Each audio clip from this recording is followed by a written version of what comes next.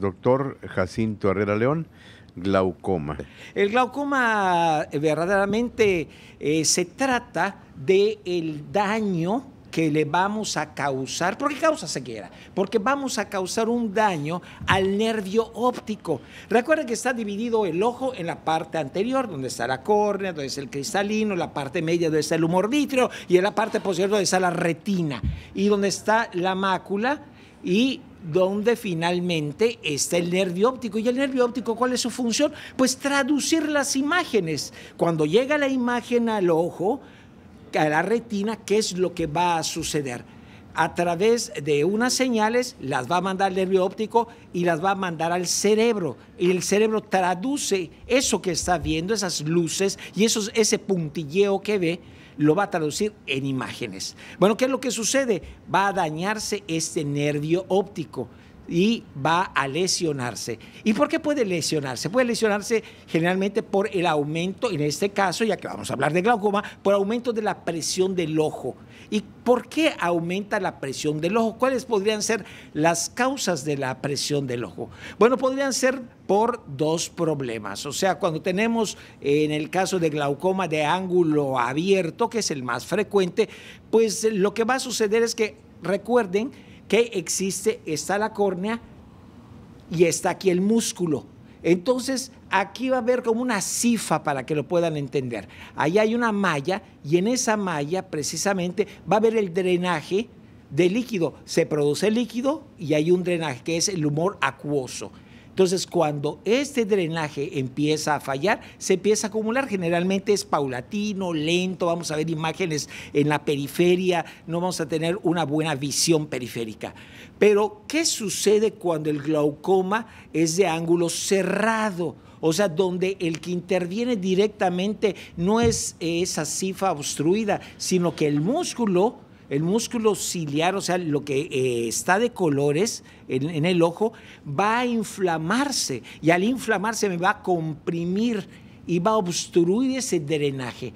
Luego entonces se va obviamente a acumular con mayor rapidez el líquido. Entonces ya no solamente voy a estar paulatinamente perdiendo la visión y voy a estar viendo algunas, manchas alrededor en la forma este, periférica del ojo, o sea, en la zona periférica del ojo, sino que voy a empezar a tener dolor de ojos, dolor de cabeza, visión borrosa.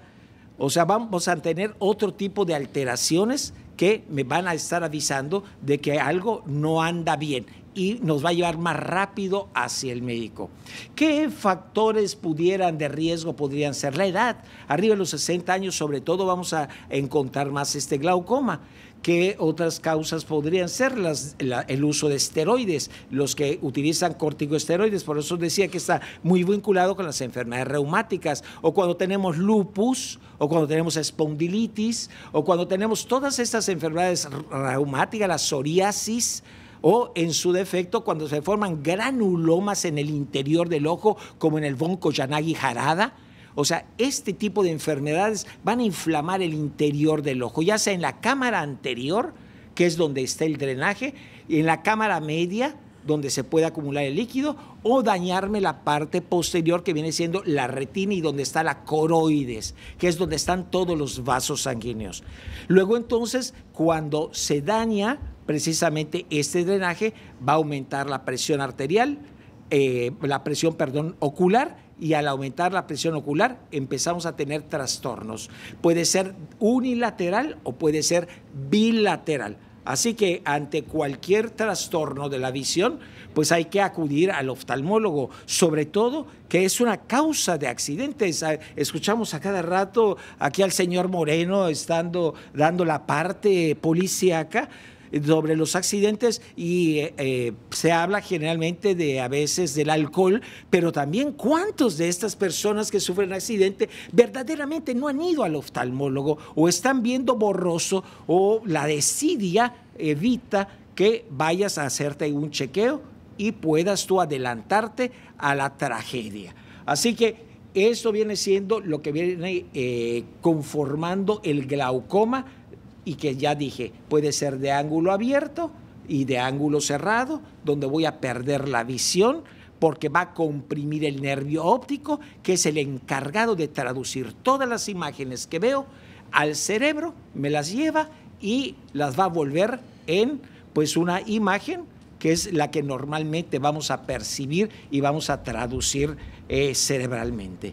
Así que es lo más importante que podríamos comentar el día de hoy y que finalmente yo te recomendaría que te hagas un chequeo. Diagnóstico es fácil, pueden medirse el grosor, por ejemplo, a ver, la córnea está muy gruesa y se puede, eh, con la paquimetría, en otros casos se puede medir la presión ocular a través del tonómetro, la tonometría, también la goniometría, cuando quieres saber cómo es el ángulo, ya dijimos que aquí está la córnea y aquí está el músculo, el, iris, o sea, lo que vemos que, se abre y se cierra, el iris. Bueno, también podemos medir el ángulo de esta, de este, este de esta área.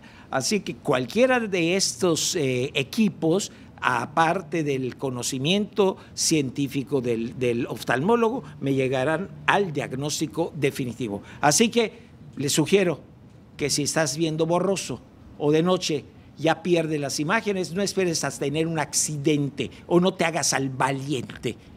Acude con el especialista, toda vez que las enfermedades, ya dijimos, pueden ser tan variadas y entre ellas una gran cantidad de enfermedades reumáticas, aunque usted no lo crea, dañan y destruyen el globo ocular y la visión. Así que José Luis, es mi comentario del día de hoy. Muchas gracias, doctor Jacinto Herrera León.